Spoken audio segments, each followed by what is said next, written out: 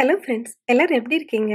நாம் இன்னைக்கு பஞ்சாபி மக்களோட உணவுகளில் ரொம்ப முக்கியமானதான ராஜ்மா மசாலா எப்படி செய்யலாங்கிறத பார்க்கலாம். அந்த ரெசிபி கூடவே சேர்த்து நமக்கு ராஜ்மா சாப்பிட்றதுனால என்னென்ன நன்மைகள் கிடைக்குது அப்படிங்கிறதையும் நம்ம இன்றைக்கி பார்க்க போகிறோம் அதோட சேர்த்து ராஜ்மாவை எப்படி முறையாக சாப்பிடணும் அதை தவறாக நம்ம சமைச்சோன்னா என்ன ஆகும் அப்படிங்கிறதையும் நம்ம இன்றைக்கி வீடியோவில் பார்க்க போகிறோம் வாங்க வீடியோக்குள்ளே போகலாம்.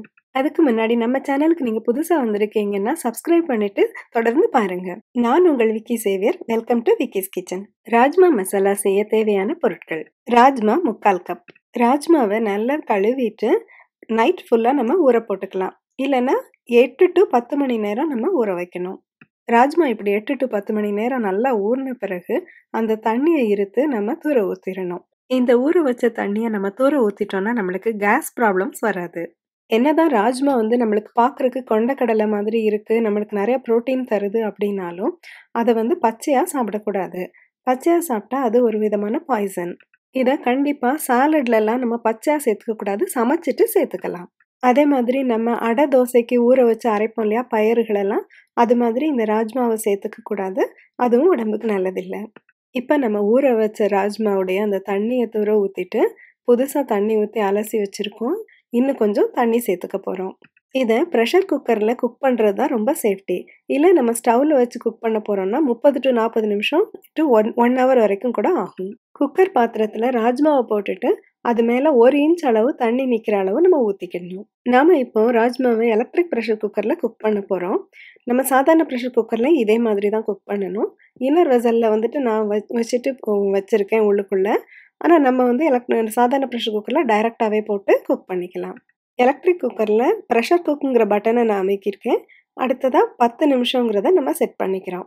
இது கிட்டத்தட்ட டென் மினிட்ஸ் கண்டிப்பாக ஆகும். இனிமேல் குக்கரோட மூடியை போட்டு அதோட வெயிட் வால்லையும் நம்ம வச்சுக்க போகிறோம் நம்ம யூஸ்வலாக யூஸ் பண்ணுவோம் இல்லைங்களா? அந்த ஸ்டவ்வில் வச்சு யூஸ் பண்ணுற குக்கர்லேயும் கூட இதே மாதிரி தான் பண்ணணும்.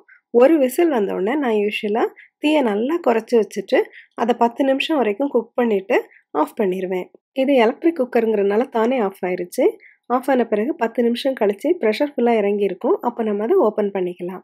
இப்போ நம்ம ராஜ்மா நல்லா வெந்திருக்கான்னு சொல்லிட்டு எடுத்து செக் பண்ணணும். இது நல்லா சாஃப்டாக வெந்திருக்கணும்.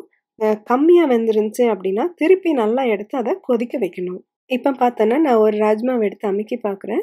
நம்மளோட ராஜ்மா நல்லா குக் ஆயிருச்சு. சூப்பர் சாஃப்டாக இருக்குது. வாயில் போட்டால் கரையிற அளவு இருக்கணும். ஆனால் குழஞ்சு போயிடக்கூடாது. அதோட ஷேப் வந்து கரெக்டாக இருக்கணும். அப்படியே இருக்கணும். சப்போஸ் நமக்கு இந்த சமயத்தில் வேகலைன்னா இதை எடுத்து மறுபடியும் ஸ்டவ்வில் வச்சு லேசாக கொதிக்க வச்சு வேக வச்சுக்கலாம். இப்போ பார்த்தோன்னா நம்ம ராஜ்மா வேக வச்ச இடத்துல கொஞ்சம் தண்ணி நிறையா இருக்கும். அதை வந்து நல்லா வடிகட்டிட்டு மறுபடியும் ராஜ்மா ஒரு தடவை அலசிக்கணும். இந்த தண்ணியை நம்ம யூஸ் பண்ணக்கூடாது. இதை ஏன் யூஸ் பண்ணக்கூடாதுன்னு தெரியுமா? ராஜ்மாவில் ஃபைட்டோ ஹீமோக்ளிட்டனின்னு ஒரு நச்சு பொருள் இருக்குது. அதனால தான் இதை நம்ம நல்லா வேக வச்சு அந்த தண்ணியை இருத்து துற ஊற்றிட்டு ராஜ்மாவை மட்டும்தான் யூஸ் பண்ணணும். இந்த கெமிக்கல் மனிதர்களுக்கு வயிற்று வலி வாமிட்டிங் உண்டு பண்ணும். அதனால தான் இதை நல்லா வேக வச்சு சாப்பிடணும்னு சொல்கிறது அடுத்து மசாலா செய்ய தேவையான பொருட்கள். சோம்பு ஒரு டீஸ்பூன். சீரகம் அரை டீஸ்பூன். பட்டை அரை இன்ச் அளவு சின்ன துண்டு. பிரிஞ்சி இலை ஒன்று. அப்புறம் மசாலா பவுடர்ஸ் என்னன்னு பார்க்கலாம். மஞ்சள் அரை டீஸ்பூன். உப்பு ஒரு டேபிள் ஸ்பூன் அல்லது தேவையான அளவு. கரம் மசாலா ஒரு டீஸ்பூன். மல்லித்தூள் ரெண்டு டீஸ்பூன்.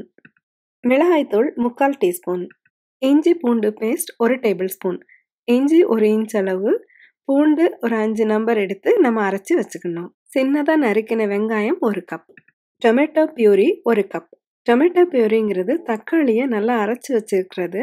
நம்ம நாலு டு அஞ்சு தக்காளியை நல்லா மையாக அரைச்சி இந்த மசாலாவில் யூஸ் பண்ணிக்கலாம்.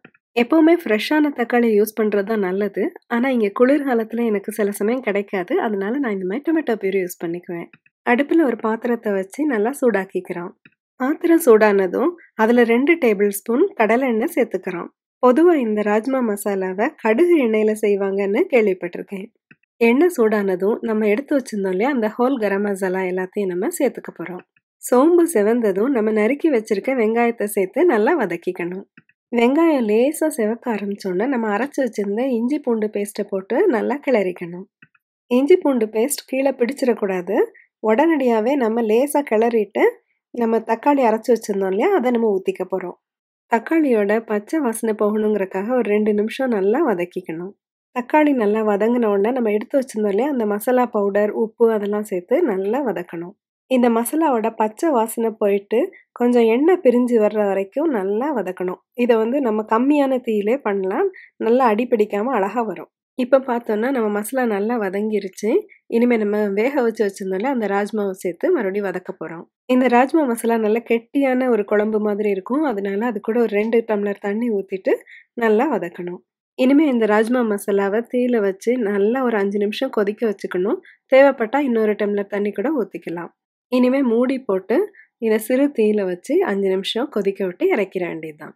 அஞ்சு நிமிஷம் கழித்து மூடி திறந்து பார்த்தோம்னா, நம்ம ராஜ்மா மசாலா நல்ல வாசனையாக ரெடி ஆகிருக்கும் நம்ம செஞ்சுருக்கோம் இல்லையா, இந்த ராஜ்மா மசாலா ஒரு சர்விங் பவுலுக்கு மாற்றிட்டு அது நல்லா சூடா இருக்கும்போதே அது மேலே காஞ்ச வெந்தயக்கீரை, கசூரி மேத்தி அதை வந்து தூவிட்டு, மல்லித்தலையும் மல்லி தழையும் போட்டு பரிமாறணும்.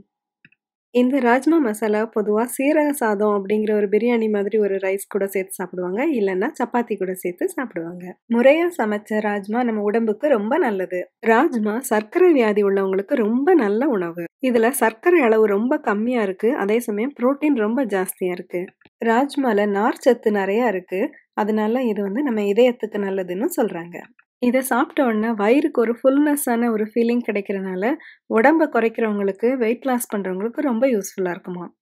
எலும்புகளையும் நல்லா பலப்படுத்தும்னு சொல்றாங்க. என்ன ஃப்ரெண்ட்ஸ் நம்ம இன்னைக்கு ராஜ்மா மசாலா எப்படி செய்யலாங்கிறத பார்த்தோம் இல்லையா? இந்த வீடியோ பிடிச்சிருந்துச்சா? பிடிச்சிருந்துச்சுன்னா லைக் பண்ணுங்க, ஷேர் பண்ணுங்க. நம்ம சேனலுக்கு சப்ஸ்கிரைப் பண்ணுங்க. மறுபடியும் இது மாதிரி யூஸ்ஃபுல்லான ஒரு நல்ல வீடியோவோட வந்து உங்களலாம் பார்க்குறேன். Until then take care. See you.